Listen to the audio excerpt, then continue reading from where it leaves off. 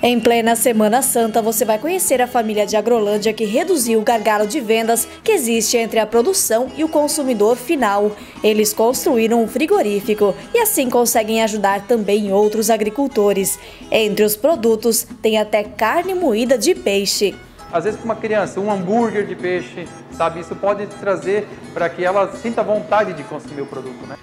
No Vale Agrícola desta semana vamos mostrar ainda o capiaçu, uma variedade própria para silagem que produz mais de 200 toneladas de matéria verde por hectare em um ano. Na verdade, ele é recomendado para corte, né?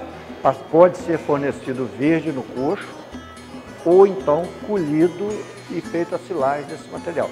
Um inimigo do gado que gera um prejuízo bilionário todos os anos. Direto de São Paulo, vamos mostrar o trabalho de uma fazenda que é exemplo no manejo do carrapato. O, o fato da gente ter realmente um manejo e realmente olhar e ser preventivo o carrapato não se tornou um problema. Tem a dica para fazer um clareador e desengordurante de roupas caseiro. A história de duas irmãs que tratam a agricultura com paixão. Então, assim, nós ah, quando reunimos grupo de mulheres, né, então a gente faz sabonete medicinal, faz a pomada.